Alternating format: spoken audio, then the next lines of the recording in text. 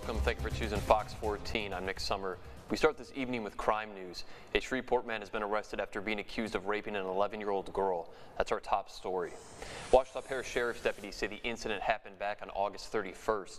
The mother of the child told deputies she left her daughter with 27-year-old Dominic McWright at a home in Sterlington. When she returned, the door was locked and her daughter opened it wearing only a shirt.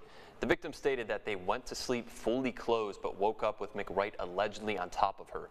McWright had fled the scene but was later arrest arrested. He has been charged with first degree rape.